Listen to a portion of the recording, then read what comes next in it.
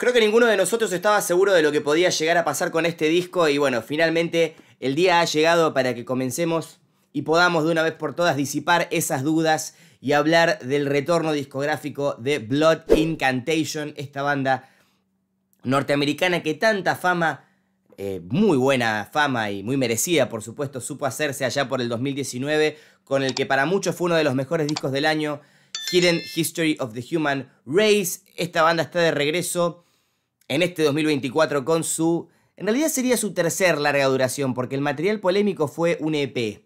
Así que vamos a decirle su tercer disco llamado Absolute Elsewhere, salido este, este perdón, 4 de octubre vía Century Media Records. ¿Por qué digo polémico EP? Porque después del afamadísimo Hidden History of the Human Race, una pieza que combinaba un death metal vieja escuela con cosas del progresivo del death metal de los noventas, Em, con influencias disonantes, cósmicas, con esos pinch harmonics, las voces de caverna, ¿no? Todo muy bien eh, colocado y ubicado. Teníamos, de la nada pasamos un material que era totalmente ambient, sin ningún tipo de guitarras, olvídense del metal, todo muy de ambiente que está bien, hay gente a la que le puede gustar esa música, está joya, pero no era lo que nadie quería escuchar en Blood Incantation, creo que la enorme mayoría de nosotros nos dormimos, ¿no?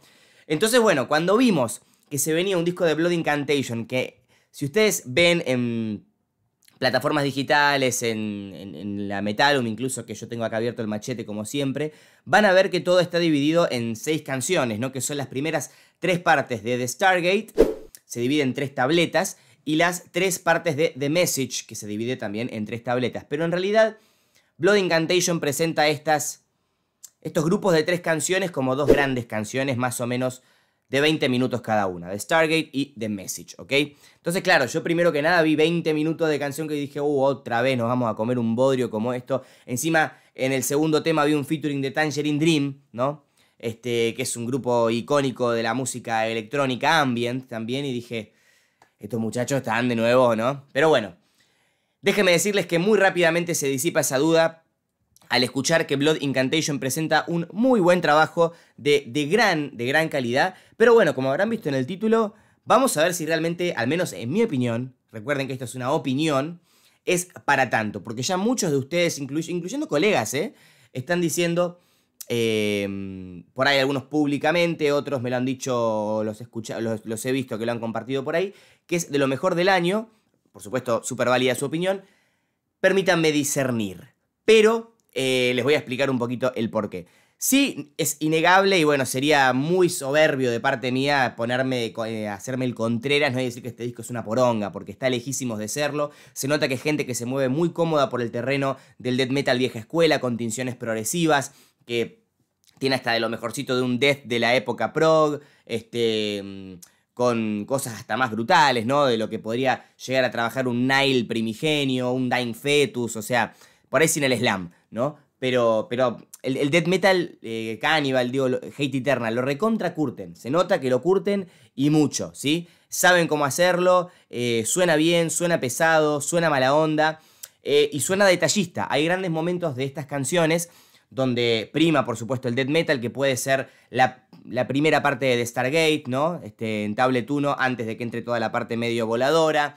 Em, la parte 1 y 2 de, Message, por ejemplo, eh, o el, tema final que tiene un montón de todo para escuchar, ¿no? Se nota que estos tipos saben lo que hacen, incluyen elementos Doom también. Recordemos que tres de los cuatro músicos de Blood Incantation están en la banda Spectral Boys, que es un grupo de Death Doom con coqueteo Funeral, que hemos comentado este año, para mí un gran trabajo, eh, un destacado del género, de hecho, de lo que va del año, ¿no? Del, del Death Doom así más funerario. Em, y en Blood Incantation se vuelve un poco a ese death metal presentado en, perdón, en Absolute eh, Everywhere, en Absolute Elsewhere, perdón, se vuelve un poco a ese death metal presentado en Hidden History of the Human Race. Ahora, ¿qué noto yo en Blood Incantation? Noto que los tipos eh, se mueven muy cómodos por el death metal, sí, hacen cosas muy competentes, componen muy bien y demás, pero no son una banda que destaque fuertísimamente por su death metal de primer nivel, ¿no? O sea, eh, vamos al caso más rápido, ustedes pueden abrir su reproductor y corroborarlo por ustedes mismos. The Stargate Tablet 1, la primera canción. Los primeros uno, dos, tres minutitos del disco tenemos death metal. Díganme si ese estilo de death metal no lo han escuchado en 100 mil millones de bandas ya a día de hoy, ¿no? Este, mm, digo, son buenos, se mueven bien. Eh, quizás Hidden History of the Human Race lo reflejaba mucho más porque ellos constantemente estaban entregando música extrema a lo largo del disco, ¿sí? Em, pero en, esto, en este álbum, Absolute Elsewhere, como el death metal se nos entrega de a cuotas, yo personalmente logro apreciar que no es una banda que exceda el promedio de majestuosidad, ¿no? Este, este año hemos tenido enormes álbumes de death metal que para mí bandas que tanto proponen como se mueven más creativamente en el death metal que Blood Incantation, al menos para mí. Entonces Blood Incantation lo que hace, a mi entender, es decir, bueno, no somos, no somos Ulcerate, por ejemplo, ¿no? Por poner el, caso de Ulcerate, ¿no? Este, no somos Interarma, no somos, este, mm, qué sé yo, Cave Sermon, ¿no? Por poner uno de los, algunos de los discos que a mí me parecieron muy buenos de death metal de este año. E incluso eh, no somos eh, una banda así palera clásica que tipo Nile, ¿no? Que yo lo tengo acá porque lo estuve escuchando hace poquito. Eh, que te pueda dar constantemente toda esa descarga de técnica y desenfreno y en ningún momento soltarte el cuello y, aburrirte, ¿no? Entonces, a partir de ese EP polémico, comenzaron, para mí, y de acá a futuro lo harán, a incluir en cada canción una partecita que los haga de, mm, como decir, uy, yo soy distinto, ¿no? Acá la pelota se la pasamos al 10 y somos distintos. Así entra en casi toda la mayor parte de Tablet 1 después del tercer minuto, pónganle de los 8 y 20 que son. Bueno, al final vuelve al death metal, ¿no? Pero entra una parte que vos no sabés si estás escuchando un tema de Yes de los 70s, ¿no? Combinado, como dije, con influencias medio medio espaciales, medio esotéricas, ¿no? Con esos eh, punteos de guitarra alargados y demás. The Stargate Tablet 2 es un ambient absoluto, ¿sí? Acá de hecho está el featuring de Tangerine Dream.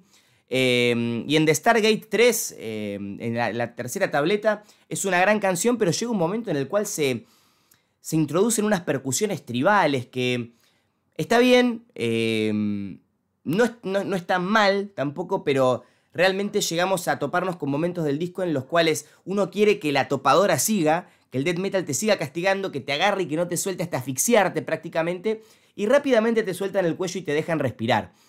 Em, y te dejan respirar con cosas que, em, digo, para mí están extremadamente pensadas. Y me imagino a los chabones en la sala creativa componiendo, ¿no? Fumándose un churrito y diciendo, bueno, en esta canción tenemos que poner algo raro.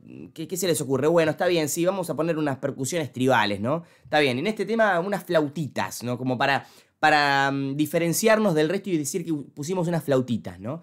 Eh, The Message Tablet 2, por ejemplo, que Tablet 4 me encanta, que ahí llegado al, más o menos a la mitad de la canción tenemos un rebaje Doom muy lento al, al tempo que se recurre, al ritmo mejor dicho. Eh, y ahí sí me gustan mucho los arreglos melódicos de la guitarra. Siento que también por, es... De hecho, para mí, The Message Tablet 1 es la mejor canción del disco. Si tuviésemos que hablar de los seis temas así, ¿no? O la primera parte de The Message, vamos a decirle. Donde Blood Incantation realmente se mueve muy cómodo. Tenemos unos tupa, tupa, tupa, tupa así rápidos con guitarras limpias, arpegiando también. Eh, que te dan esa vibra medio espacial igualmente, sin necesidad de incluir tanto teclado, tanta mística, tanta cosa.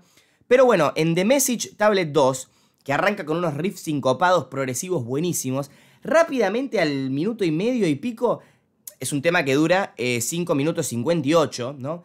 El tema se desinfla y el metal se, difumina, ¿no? Lentamente se, se disuelve en, el éter de las cosas, ¿verdad? Entonces, creo que eso es lo, que, lo que me pasa un poco con este disco de Blood Incantation. Em, los momentos pesados están tan buenos que a veces quiero un poco más de heavy y la banda como que me suelta el brazo y empiezan a cantar limpio y está bien, o sea, musicalmente lo que están haciendo está bien, es agradable al oído, suena lindo, em, pero verdaderamente yo em, pienso que bueno, los tipos dijeron también, vamos a volver un poco al death metal porque nos cagaron a palos con el disco anterior que lanzamos, pero la verdad que lo que nosotros queremos hacer ahora es esto, ¿no? Es em, música así un poco más flashera, ¿viste? Incluso hablando hoy con Juanma eh, de musicografía, siempre un saludo cuando lo nombre. Bueno, a todos, siempre que nombro a uno de mis colegas le mando un saludo, ¿no?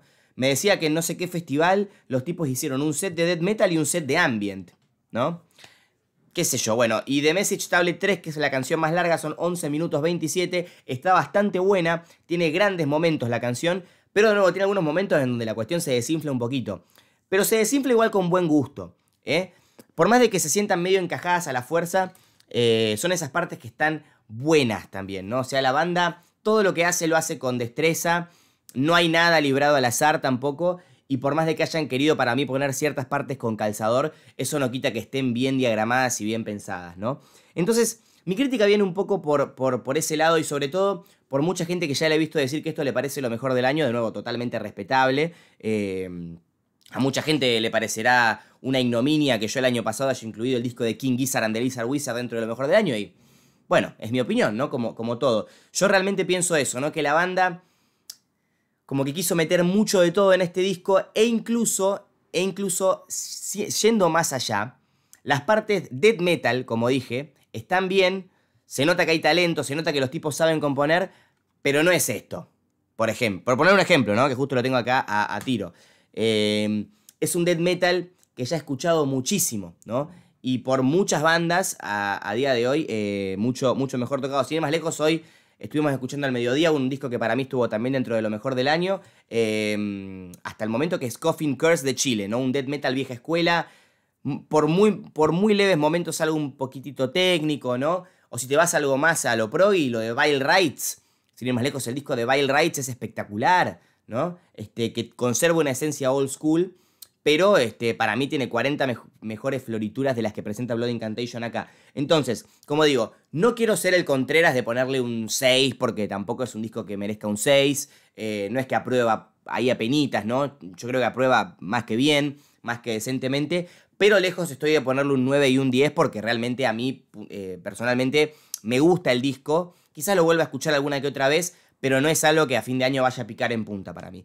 Eh, para mí, Absolute Elsewhere de Blood Incantation es un 7.5 y estoy siendo un poquito generoso. Creo que le pondría un 7, pero, pero bueno, eh, hoy por hoy es un 7.5 sobre 10. Así que bueno, coméntenme ustedes qué les pareció eh, Absolute Elsewhere de Blood Incantation. Lo que sí, estoy contento que los tipos vuelvan a tocar metal. Creo que les, sienta bien, ¿no? Y ojalá que el volver a tocar metal les siga como pinchando un poquito la inquietud de cada vez volver a, sonar como sonaban en aquel eh, majestuoso Hidden History of the Human Race. Que bueno, majestuoso tampoco es un disco de 10 para mí, ¿no? Pero ciertamente en un 8, 8.5, eh, bastante superior para mí a lo que estamos escuchando en este álbum, que es muy bueno, dicho sea de paso.